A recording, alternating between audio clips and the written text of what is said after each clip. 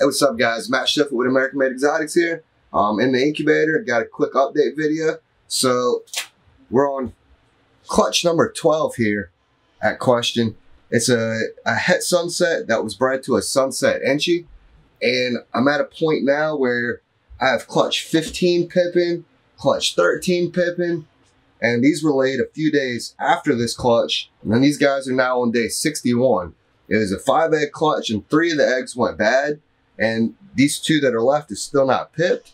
So day 61, I'm going to go ahead and give these guys a snip and just make sure that um, there's not an issue with them. And if they don't have an egg tooth, they still make it and give them a chance.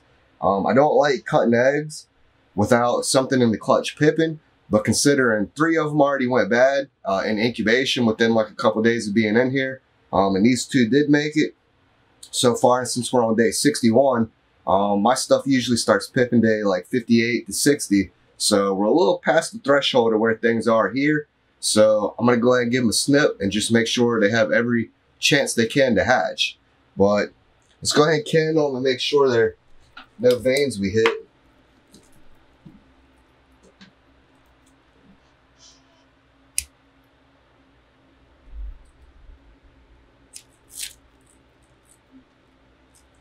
It's in there, it's normal.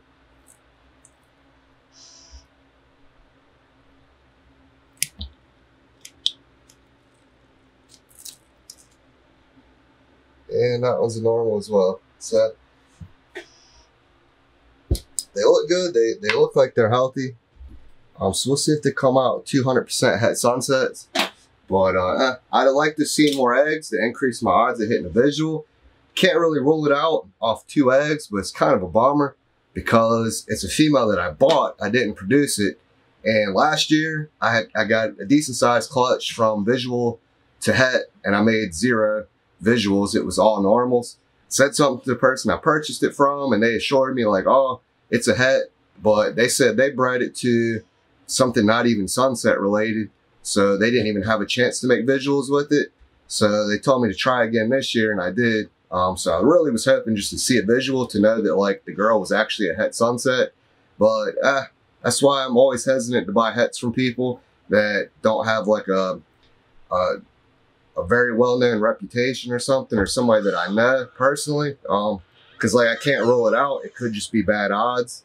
Uh, it might not be a het sunset though, but we'll try again next year and hopefully get a bigger clutch and see what happens. Maybe they'll come out with a shed test for the sunset and we could shed test that female, but it might just be a very expensive normal that we keep breeding to a sunset, but we'll figure it out next year, hopefully.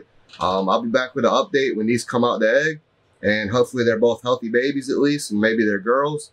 And uh, I'll be back with an update. Appreciate you watching. All right, guys, this is 23 BPC12, which was a sunset Enchi and a sunset that we bred to a girl that we bought as a het sunset. Um, this is the second year in a row that we've not made a visual with her today. But two eggs, I mean, it definitely could be bad odds.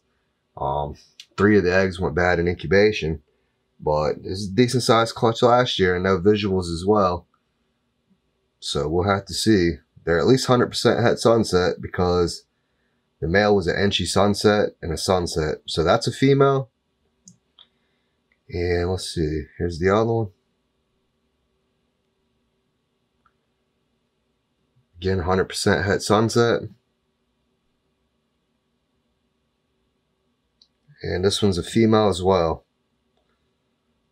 So, two female 100% het sunsets. Uh, better luck next year, or maybe we'll send a shed in. I saw they just got the test for sunset. So we might be doing that just to see. But I appreciate y'all watching. Until the next one.